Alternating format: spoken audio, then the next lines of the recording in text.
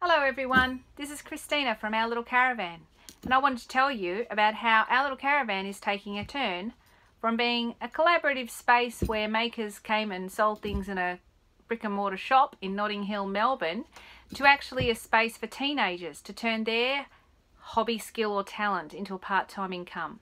We're going to start in 2018 with some live face-to-face -face workshops. We'll also be offering online courses and ebooks down the track. We'll have a website that's full of free content that you can access um, to learn more about how to turn your passion into a part-time income. We think these are really essential skills for the 21st century, so we are making them available for our teenagers and I hope that you'll get on board our little caravan.